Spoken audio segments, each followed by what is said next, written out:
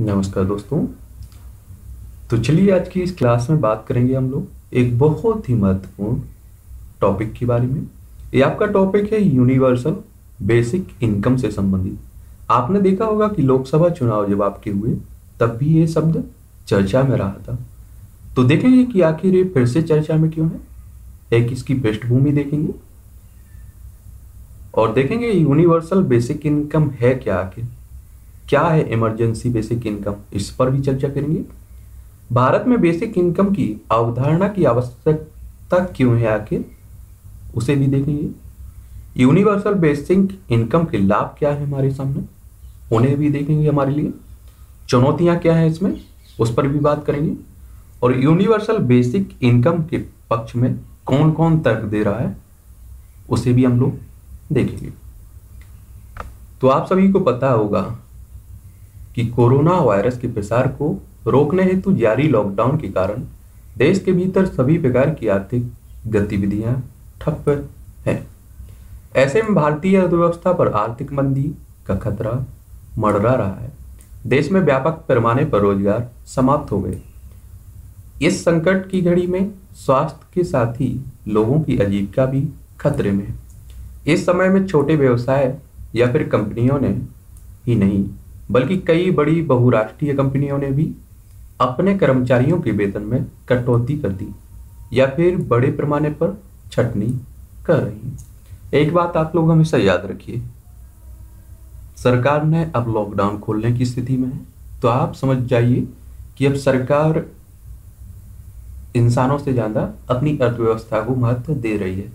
एक कड़वा सच है, आप शायद सुनने में आपको दिक्कत आ रही हो। क्योंकि आप देख रहे हैं डेली के केस बढ़ते ही जा रहे हैं। कल आठ हज़ार सात सौ के करीब पहुँच चुके थे डेली मतलब चौबीस घंटे में। तो केसों में कोई कमी नहीं आ रही है। केस बराबर बढ़ रहे हैं। लेकिन अब सरकार इस पर ज़्यादा ध्यान नहीं दे रही है। सरकार अब अर्थव्यवस्था पर, आपकी इकोनॉमी पर ध्यान दे रही है। तो आप मज़ाक में मत लीजिएगा कि लॉकडाउन खुल रहा है तो आप कहीं भी घूमते रहें। अपनी सेफ्टी आपको खुद रखनी है। सरकार ने आपको बेहाल में छोड़ दिया। ठीक है? तो ये क्या करना है आपको कि आप अपनी और अपने परिवार की, या परिवार से कहने का मतलब ये है कि अगर आपको कोरोना पॉजिटिव होता है, चलिए मुझे कोरोना पॉजिटिव होता है, मैं परिवार में जाता हूँ तो मैं तो मतलब हो ही रहा हूँ, साथ में उस परिवार को भी ले डूब रहा हूँ, जिसकी कोई गलती नहीं है इसमें। तो कृपया करके अपना मतलब सेफ्टी खुद रखिए, और आप भी जानते हैं सरकार कितना साथ देती है। अगर सरकार इतनी ही साथ देती होती तो उन्नीस से जब से देश आज़ाद हुआ, तब से गरीबों की वो दे, दुहाई देते रहते हैं कि गरीबी हटाएँगे। अभी तक हटी है। इसलिए ज़्यादा किसी पर निर्भर मत रहिए। अपने आप पर पूरा डिपेंड रहिए और अपनी सेफ्टी खुद रखिए। क्योंकि आप देख रहे हैं कि हर देश में तो कोरोना की मरीजों की संख्या घट रही है लगभग लगभग लेकिन हमारा देश अब बढ़ता जा रहा है।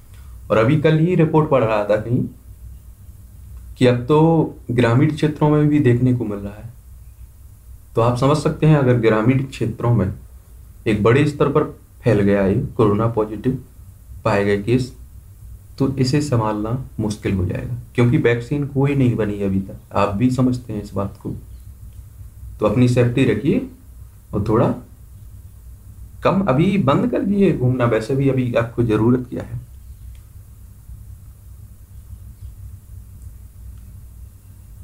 और आप सोच सकते हैं कि जब बड़े लोगों को फ़र्क पड़ने लगा है तो उनका क्या हुआ होगा? जो डेली का कमाते थे, डेली का खर्च करते थे, जैसे आपके ई रिक्शा वाले हो गए, रेडी वाले हो गए, इनका क्या हाल हुआ होगा? और सरकार इतनी मदद नहीं की है, देखिए। अब पाँच सौ हज़ार रुपये में कुछ नहीं होता है इस समय।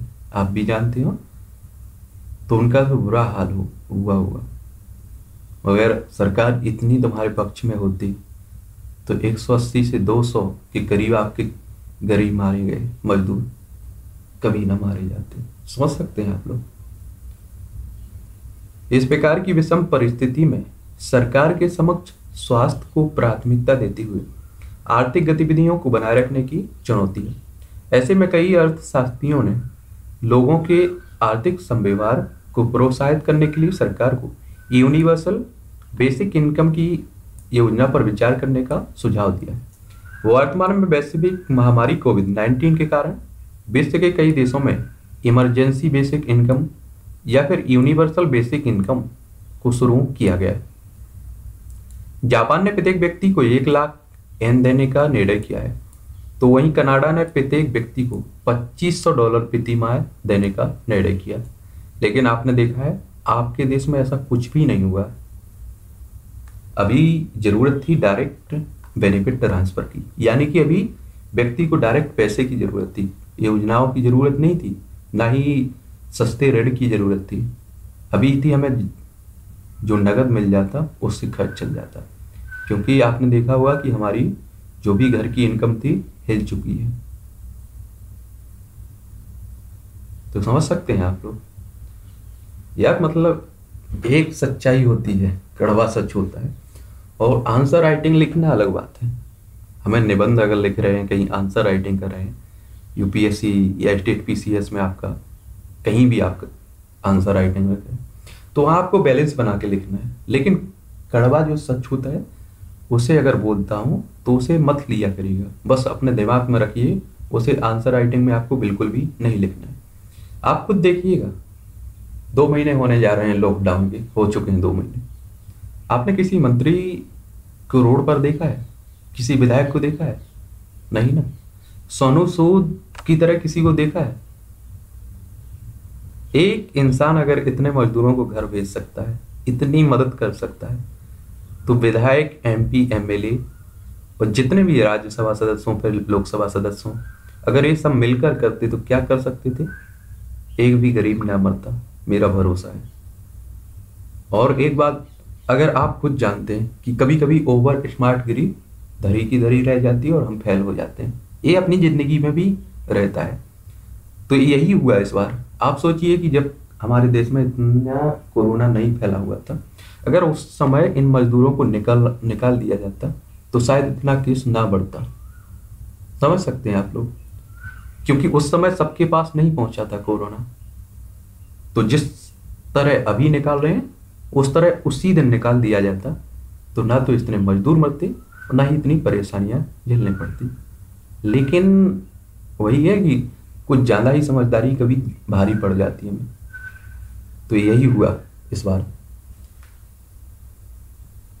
प्रत्येक व्यक्ति को जीवन यापन के लिए न्यूनतम आय की गारंटी मिलनी चाहिए। यह कोई नया विचार नहीं है। थॉमस मूर नाम के एक अमेरिकी क्रांतिकारी दार्शनिक ने हर किसी के लिए एक समान आय की मांग की थी। वह चाहते थे कि एक ऐसा राष्ट्रीय कोष को हो, जिसके माध्यम से हर वयस्क को एक निश्चित राशि का भुगतान किया जाए। वर्टेंड रसेल ने सोशल क्रेडिट आंदोलन चलाया, जिसमें सबके लिए एक निश्चित आय की बात की गई। भारत में यह अवधारणा चर्चा में इसलिए रही क्योंकि वर्ष 2016-17 के भारत के आर्थिक सर्वेक्षण में यूबीआई को एक अध्याय के रूप में शामिल कर इसके विविध पक्षों पर चर्चा की गई। गौरतलब है कि आर्थिक सर्वेक्षण में यूबीआई योजना को गरीबी कम करने के लिए एक संभावित विकल्प बताया गया। Universal basic income. आखिर है क्या ये universal basic income? Universal basic income देश के प्रत्येक नागरिक को दिया जाने वाला एक आवधिक बिना शर्त नगद हस्तांतरण, इसके लिए व्यक्ति के सामाजिक या फिर आर्थिक स्थिति पर विचार नहीं किया जाता। यूनिवर्सल बेसिक इनकम अवधारणा की दो विशेषताएँ। हैं यूबीआई अपनी प्रकृति में सार्वभौमिक है, अर्थात यह लक्षित नहीं है, या बिना शर्त नगद ट्रांसफ़र है। इसमें कोई शर्त की ज़रूरत नहीं पड़ती है। अर्थात किसी भी व्यक्ति को यूबीआई हेतु पात्र होने के लिए बेरोजगारी की स्थिति या सामाजिक आर्थिक पहचान को साबित करने की आवश्यकता नहीं होती है। ये आरक्षण की तरह नहीं है। या फिर आपको जो खाद्यान्न मिलता है कि आप गरीबी में हैं, फिर आप अति पिछड़ा क्षेत्र वर्ग में हैं, इससे इसमें कोई मतलब नहीं है। ये सबके लिए बराबर है। यूबीआई एक न्यूनतम आधार भूत आय की गारंटी है। जो प्रत्येक नागरिक को बिना किसी न्यूनतम आर्ता के आजीविका के लिए हर माह सरकार द्वारा दी जाएगी। इसके लिए व्यक्ति को केवल भारत का नागरिक होना ज़रूरी है। यानी कि उसके पास इतना पर्याप्त वो हो कि वो बता सके कि हम भारतीय हैं। इतने ज़रूरी दस्तावेज़, ठीक है? उस सब, उन सभी के लिए हैं जो भारत में, भारत के नागरिक हैं। अब बात करते हैं, क्या है emergency basic income emergency emergency basic income एक निर्धारित समय तक देश के प्रत्येक नागरिक को दिया जाने वाला बिना शर्त नगद हस्तांतरण है। इसके लिए व्यक्ति की सामाजिक तथा आर्थिक स्थिति पर विचार नहीं किया जाता है। इन दोनों का सीधा सा मतलब ले सकते हैं यूनिवर्सल बेसिक इनकम कि आपके देश में ऐसी एक योजना लाना जिसके तहत सभी व्यक्तियों को जो भी भारत का नागरिक है, उन सभी को एक सीमित मतलब निश्चित धनराशि दी जाना, दी जाएगी। उसके लिए ना आपकी कोई पात्रता हुई ना इसके लिए आपको कोई गरीबी रेखा का कार्ड दिखाना होगा। फिर चाहे आप पिछड़ा वर्ग के हों एस टी एस सी हो ओ बी सी हो, या फिर जनरल हो, सबके लिए दिया जाएगा। किसी से कोई भेदभाव नहीं किया जाएगा। अगर दस हज़ार ओ बी सी को मिल रहे हैं एस टी एस सी को तो इसमें दस हज़ार ही जनरल को मिलेंगे, ठीक है? बस भारत का नागरिक होना चाहिए। और इमरजेंसी बेसिक इनकम का सीधा सा मतलब है कि जैसे आपके यहाँ दो महीने असर है, इसका कोरोना का दो से चार महीने असर रहता है। तो इन चार महीने के लिए इमरजेंसी बेसिक इनकम दी जाएगी। बट जब नॉर्मल स्थिति हो जाएगी तो इसे हटा दिया जाएगा। ठीक है? इसके लिए व्यक्ति की सामाजिक या फिर आर्थिक स्थिति पर विचार नहीं किया जाएगा। इसमें भी किसी की आर्थिक या फिर सामाजिक स्थिति पर कोई विचार नहीं किया जाएगा। यानी कि जिस तरह से आरक्षण लागू होता है उस तरह से ये लागू नहीं होगी। ठीक है? ये सबके लिए बराबर है। फिर चाहे वो गरीब हो या अमीर हो। जब सरकार को इस बात का आवास हो, हो जाता है देश में वस्तुओं और सेवाओं की पर्याप्त मांग की जा रही है। और लोगों को रोज़गार भी प्राप्त हो चुका है। तब सरकार हालात सामान होने के बाद इमरजेंसी, बेसिक इनकम देना बंद कर देता है। वर्तमान में वैश्विक महामारी कोविड 19 यानी कि कोरोना वायरस के कारण विश्व के कई देशों में इमरजेंसी, बेसिक इनकम की अवधारणा को अपनाया गया। अब सोचिए कि विकसित देश अगर इस तरह की योजनाओं को अपना रहे हैं तो हमें तो पहले अपना लेना चाहिए था। क्योंकि हमारे यहाँ स्थिति सबसे खराब है, वो विकसित देश है। अभी हम लोग एनसीईआरटी पढ़ रहे थे तो आपने उस वहाँ पढ़ा होगा कि जो वहाँ कार नहीं है जिनके पास, उन्हें गरीब माना जाता है। जिनकी औकात कार खरीदने की नहीं है। और हमारे यहाँ जिसके पास छत नहीं है, उसे गरीब माना जाता है। जो अपना दिन का खर्च नहीं चला पाता है महीने का जी, परिवार का, यानी कि जीवन नहीं चला पाता है, पालन पोषण नहीं कर पाता है, वो गरीब होते हैं। तो समझ सकते हैं, यहाँ जिनके पास कार नहीं है, वो गरीब है। और हमारे यहाँ खाने के लिए खाना नहीं है, वो गरीब कहलाता है। तो स्थिति आप लोग समझ सकते हैं। तो भारत में पहले भी ज़रूरी था, सबसे पहले, क्योंकि आपने देखा होगा कि जो लोग डेली रिक्शा चलाते थे, ठेला लगाते थे, उनका क्या हाल हुआ होगा? आप लोग भाषण दे सकते हैं। ऐसी कूलर पंखे में बैठकर, लेकिन कभी उनको, उनकी जगह अपने आप को रखा करिएगा। ठीक है? तब सोचा करिएगा। क्योंकि मैंने देखा है कि कई लोग होते हैं महान आत्माएँ, जिन्हें कुछ लेना देना तो रहता नहीं है। तो वो कमेंट बॉक्स में लिखते रहते हैं। कई जगह मैंने देखा है, लिखा कि वो गरीब मर रहे हैं तो अपनी वजह से मर रहे हैं। अरे भाई, मरना तुम्हें भी है, मरना मुझे भी है। यहाँ मरने वाली बात नहीं, बात यह है कि किस तरह मर रहे हैं वो। भूख कोई बीमारी नहीं है, इसे ठीक किया जा सकता है। चलिए, कोरोना एक बीमारी है, यानी कि वायरस है। इससे ठीक करना पॉसिबल नहीं है अभी, ठीक लेकिन भूख अगर रोटी दे दी जाए तो वो बच सकते हैं कि नहीं बच सकते उन्हें घर पहुँचा दिया जाए तो वो बच सकते हैं या नहीं बच सकते तो यहाँ ऑप्शन है हमारे लिए, पास। तो इतना भाषण मत दिया करिएगा। पता है मुझे कि ज्ञान सबके पास भरा हुआ है, कोई ज्ञान से कमज़ोर नहीं है। इस समय की सबसे बड़ी प्रॉब्लम क्या है? इंसान की। वो इस गलत फहमी में मरते वक्त तक जीता रहता है कि उससे समझदार व्यक्ति कोई दूसरा नहीं है। मैं बता रहा हूँ ना कि ये समझदारी कभी कभी मज़ाक बनकर रह जाती है। कोई काम की नहीं रहती है। क्या उखाड़ लोगे तुम अगर तुम बोल रहे हो कि वो गरीब मर रहे हैं, वो अपने कर्मों की वजह से मर रहे हैं। ना तो ये धरती हमारे बाप की कोई स्थायी जागीर है, ना ही तुम्हारे। तो इसलिए कभी किसी के बारे में इतना बुरा मत लिखा करिएगा। भगवान से डरते हो तो डरिए थोड़ा। बात करते हैं, भारत में बेसिक इनकम की अवधारणा, आवश्यक आखिर क्यों है? विदित है कि मध्य प्रदेश में ऐसी एक योजना को शुरू किया गया था। जिसमें पायलट प्रोजेक्ट के तहत मध्य प्रदेश के आठ गाँवों में छः हज़ार से ज़्यादा लोगों को मासिक भुगतान किया गया। इसका परिणाम सकारात्मक रहा। अधिकांश ग्रामीणों ने उस पैसे का उपयोग घरेलू सुविधा बढ़ाने, जैसे शौचालय, दीवार, छत में किया, ताकि मलेरिया के खिलाफ सावधानी बरतनी जा सके। अनुसूचित जाति और जनजाति के परिवारों में यह देखा गया कि वित्तीय, बेहतर वित्तीय स्थिति में बेराशन की दुकानों की वजह बाज़ार जाने लगे। उन्होंने अपने पोषण में सुधार किया। स्कूलों में बच्चों की उपस्थिति और प्रदर्शन दोनों की स्थिति बेहतर बेहतर हुई। अतः हम कह सकते हैं कि बेसिक इनकम का यह विचार एक उत्तम पहल है। क्या है? अच्छा अच्छी पहल है। आप समझ सकते हैं कि मेन समस्या क्या है? पैसा ही तो समस्या है गरीबों की। अगर उन्हें के पास पैसा काफ़ी है तो वो अपने स्वास्थ्य का ख्याल रख सकते हैं, अपने बच्चों को पढ़ा भी सकते हैं और अच्छी ज़िंदगी जी सकते हैं। स्वच्छता भी रख सकते हैं अपने पास। गरीबों की एक ही समस्या है, पैसा। वो कम बाहर जाते हैं, दिल्ली, मुंबई जा रहे हैं तो किस लिए जा रहे हैं? पैसा कमाने के लिए। पैसे की ही शॉर्टेज ही होने, यानी कि पैसे की कमी थी, तभी तो वो दिल्ली, मुंबई गए गए थे। वरना आप सोचिए, कौन अपना घर छोड़ना चाहेगा?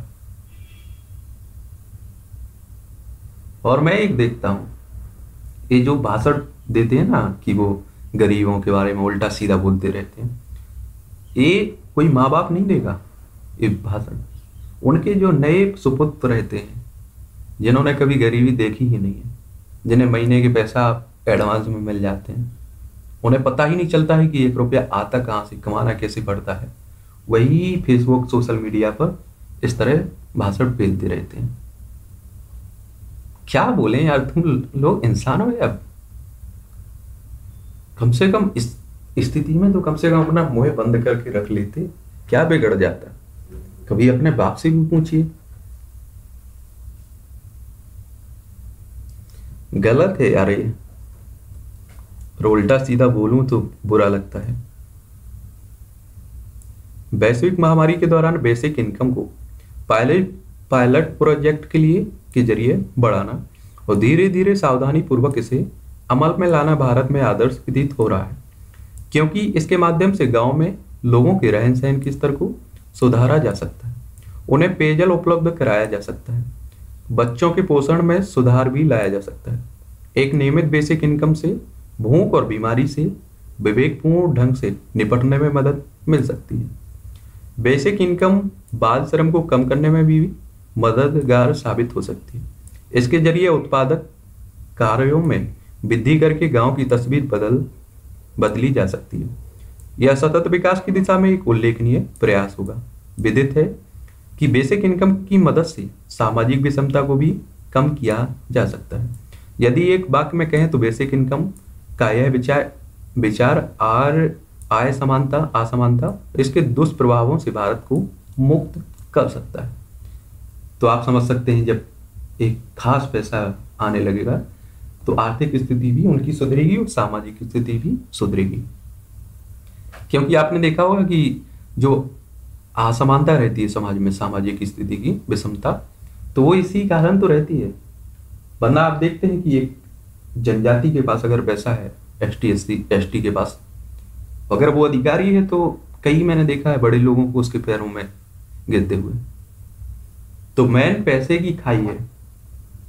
यानी कि आर्थिक स्थिति अगर उनकी सुधर जाती है तो तुम हाथ में लाने लगते हो। आर्थिक स्थिति खराब है तो आप उनसे हाथ नहीं मिलाते हो।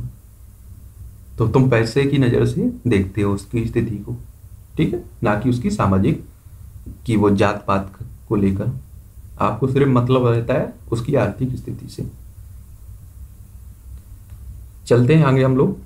अभी आपने कल अगर आप करंट से जुड़े रहिए हमेशा, मैं यही कहता हूँ। आपने कल सुना होगा, किसी ने आरटीआई डालकर, अभी जो पीएम फंड बना हुआ था कोरोना वायरस के लिए, इसकी जानकारी मांगी तो आपके पीएमओ ऑफ़िस ने सबने मना कर दिया पीएम फंड के बारे में जानकारी देने से। क्या बोला गया? ये पब्लिक अथॉरिटी नहीं है। पब्लिक का पैसा ले रहे हो, फिर पब्लिक अथॉरिटी नहीं है। हँसी नहीं आती आपको कि आप सरकारी उसमें डोमेन यूज़ कर रहे हो, सरकारी नाम यूज़ कर रहे हो? फिर भी बोल रहे हो क्या कि ये पब्लिक अथॉरिटी नहीं है? आप ये सोचिए कि मेरे बारे में अगर कुछ गलत नहीं है, कोई मेरे अंदर बुराई नहीं है, यानी कि मैं कुछ छुपाए नहीं रखा हुआ हूँ। मैं खुला हुआ आदमी हूँ। तो मुझे बताने में क्या हर्ज होगा? आप मेरा मोबाइल चेक कर सकते हैं ना, उसमें कुछ मतलब ऐसा कुछ छुपा ही नहीं है कि मतलब मुझे शर्म महसूस करनी पड़ी या मैं इतना बुरा हूँ। तो आप, मैं कभी पासवर्ड नहीं डालूँगा। और आप सोचिए पासवर्ड डालने का मतलब ये होता है कि आप के अंदर कुछ बुराई है।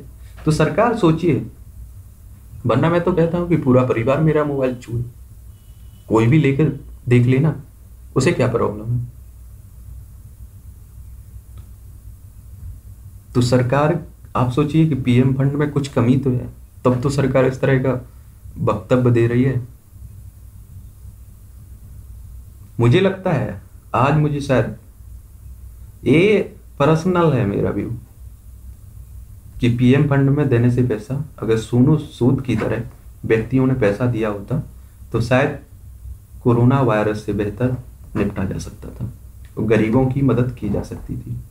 और आप देखिए आगे से ऐसा आदमी डरेगा इस तरह का पैसा देने से। मैं मोदी से कोई बुराई नहीं है मेरी, ना बीजेपी, ना किसी पार्टियों से मेरा कोई लेना देना। हकीकत है, आप सोचिए कि मतलब जनता पैसा दे रही है। किसी ने सौ रुपये दिए उसे में, किसी ने पाँच सौ रुपये दिए। अब बड़े लोगों ने बड़े सी से पैसे दिए। लेकिन फिर भी आप बोल रहे हैं कि वो पब्लिक अथॉरिटी नहीं है। मतलब इसे देने में मेरे की कोई वो नहीं है आरटीआई की तहत। दो बार आरटीआई मांगी गई व्यक्तियों के द्वारा। दोनों बार रिजेक्ट कर दी गई है। कुछ तो घपला लगता है ना, तभी तो वो इस तरह की बातें उठ के आ रही है ना। चलिए, अब जो भी है, ठीक है। यूनिवर्सल बेसिक इनकम से लाभ क्या है? वर्तमान में सरकार विभिन्न सामाजिक कल्याण योजनाओं के माध्यम से लोगों के कल्याण को सुनिश्चित करने का प्रयास कर रही है। लेकिन अब सरकार उन्हें नगद पैसा देकर इस प्रवृत्ति को बदलना चाहती है, ताकि लोग अपनी आवश्यकता के अनुसार सेवाओं को प्राप्त कर सकें। वर्तमान में चल रहे आर्थिक संकट के दौर में यह स्कीम देश के लोगों के हाथों में अतिरिक्त क्रय शक्ति देगी, जिससे देश में उत्पादनकारी गतिविधियों को बढ़ावा मिलेगा। यहाँ डायरेक्ट यानी कि डायरेक्ट बेनिफिट ट्रांसफ़र का मतलब यही था कि आप आप सोचिए कि आप उत्पादन कितना भी करता रही, करते रहिएगा। जब हमारे पास पैसा ही नहीं होगा तो हम खरीदेंगे कैसे? आप इस तरह से ले सकते हैं। मोबाइल आप सौ बनाते रहिएगा। जब आदमी के पास पैसा नहीं होगा तो वो कैसे खरीदेगा फ़ोन? और आप सोचिए कि उनके पास पैसा आ रहा है, महीने का पचास हज़ार रुपया। तो आप कितना भी प्रोडक्शन कीजिए। वो खपत होती रहेगी उसकी, क्योंकि डिमांड जितनी रहेगी, उतना अच्छा रहता है। तो अगर अभी आप लोग पैसा दे देते, उसके बाद कुछ भी उत्पादन करते तो जनता में मांग रहती है। और मांग से ही तो सब कुछ चलती है।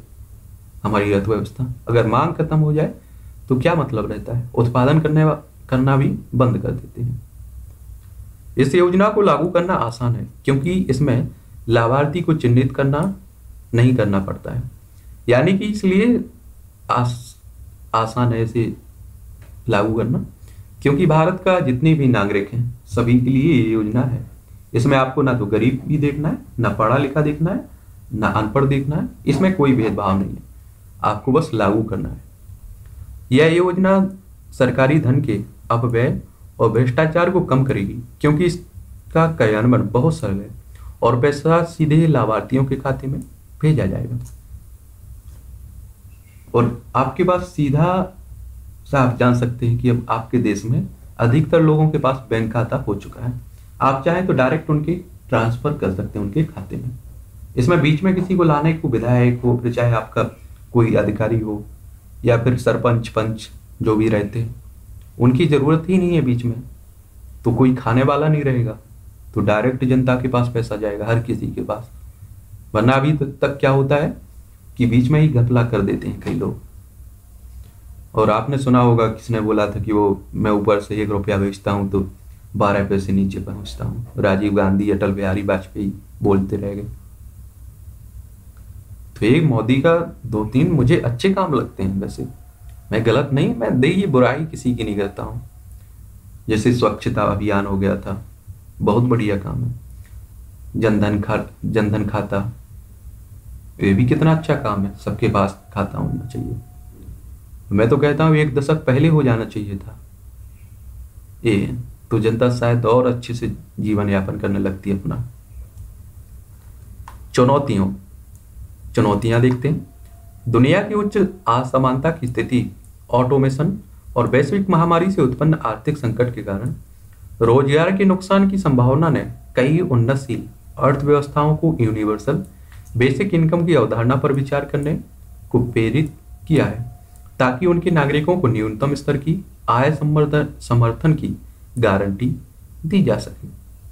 कई विशेषज्ञों का मानना है कि सबके लिए बेसिक इनकम का बोझ कोई बहुत विकसित अर्थव्यवस्था ही उठा सकती है। जहाँ सरकार का खर्च सकल घरेलू उत्पाद, यानी कि जीडीपी के 40 फ़ीसदी से भी ज़्यादा हो, टैक्स से होने वाली कमाई का आंकड़ा भी इसके आस पास ही हो। यदि हम भारत की बात करें तो टैक्स और जीडीपी का यह अनुपात सत्रह फ़ीसदी से भी कम बैठता है। हम तो बुनियादी स्वास्थ्य सुविधाओं और आधारभूत ढांचे के अलावा सुरक्षा, आंतरिक सुरक्षा, मुद्रा और बाहरी संबंधों से जुड़ी संप्रभु प्रक्रियाओं का बोझ ही बहुत मुश्किल से उठा पा रहे हैं। बेसिक इनकम की राय में सबसे बड़ी चुनौती है कि बेसिक आय का स्तर क्या हो। यानी वह कौन सी धनराशि होगी जो व्यक्ति की बुनियादी जरूरतों को पूरा कर सके। इस बात की प्रबल संभावना है कि लोगों को दी गई निःशुल्क रकम उन्हें आलसी बना सकती है वे काम ना करने के लिए प्रेरित हो सकते हैं। इस बात की कोई गारंटी नहीं है कि लोगों को दी गई निःशुल्क रकम, उत्पादक, गतिविधियों, स्वास्थ्य और शिक्षा आदि पर खर्च की जाएँगी। यह तंबाकू, शराब, ड्रग्स और अन्य लग्जरी वस्तुओं आदि पर भी खर्च की जा सकती है। अगर ऐसा हुआ तो इस योजना का उद्देश्य ही विफल हो जाएगा।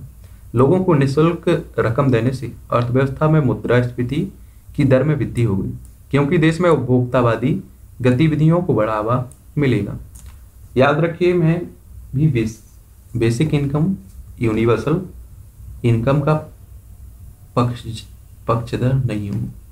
यानी कि मैं इसके पक्ष में नहीं हूँ लेकिन इमरजेंसी के टाइम मैं इसके पक्ष में हूँ। क्योंकि आप समझ सकते हैं कि अगर आप डेली किसी को दस हज़ार महीने के मतलब महीने में दस हज़ार देने लगे तो उसे सोचना भी नहीं पड़ेगा ना वो आलसी हो जाएगा। उसके मन में शराब, इस तरह की शराब तम्बाकू ड्रग्स अन्य लग्जरी वस्तुओं में दिमाग लगने लगेगा। अभी कम से कम कमाता है तो उसे मेहनत का पता चलता है कि मेहनत क्या होती है। फिर वो बहुत आलसी बन जाएगा। ठीक है?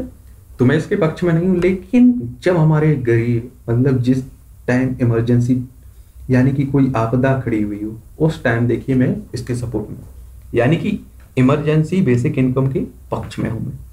लेकिन यूनिवर्सल बेसिक इनकम ना तो हमारा देश इतना विकसित है कि उठा, इसका खर्च उठा सके। तो ये मुश्किल से लागू की जा सकती है, क्योंकि 135 40 करोड़ जनसंख्या को इतना दे पाना मुश्किल है। ठीक है? अब बात करते हैं आगे हम लोग। यूनिवर्सल बेसिक इनकम के पक्ष में तर्क। अगर भारत की बात करें तो यहाँ आबादी का एक बड़ा हिस्सा अभी भी गरीबी रेखा से नीचे जीवन यापन करता है। और गरीबों को सब्सिडी एवं सहायता प्रदान करने वाली कई सरकारी योजनाएँ विभिन्न समाज समस्याओं से ग्रस्त हैं। वर्तमान में केंद्र सरकार की कुल 950 योजनाएँ चल रही हैं। इस योजनाओं को चलाने के लिए जीडीपी का करीब पाँच प्रतिशत खर्च होता है। एक योजनाएँ गरीबों को लाभ पहुँचा रही हैं या नहीं यह चर्चा का विषय बना हुआ है। मैं तो कहता हूँ यूनिवर्सल बेसिक इनकम की जगह हर इंसान को एक रोज़गार उपलब्ध कराया जाए, शिक्षा उपलब्ध कराई जाए और स्वास्थ्य उपलब्ध कराया जाए। इन तीनों चीज़ों को अगर आप लोग अच्छे से उपलब्ध कराते हैं तो आपको बेसिक इनकम की ज़रूरत नहीं पड़ेगी देने की। और योजनाओं को कम ही चलाने की ज़रूरत पड़ेगी। अगर आप इन तीन पिलरों को शक्तिशाली कर देते हैं, क्योंकि जो आप देखते हैं कि अगर स्वस्थ व्यक्ति रहेगा, पढ़ा लिखा रहेगा तो वो अपने आप कुछ ना कुछ करने लगेगा। आपको उसे देने की, फ्री में देने की ज़रूरत नहीं पड़ेगी। समझ सकते हैं आप लोग? आर्थिक सर्वेक्षण में भी इस बात को स्वीकार किया गया कि इन सभी योजनाओं को यदि बंद कर दिया जाए, तथा इनमें खर्च होने वाले पैसे को यूबीआई की ओर, यानी कि यूनिवर्सल बेसिक इनकम की ओर ले जाया जाए तो गरीबों तक प्रत्यक्ष रूप से पैसा पहुंचेगा, उनकी स्थिति में सुधार भी होगा।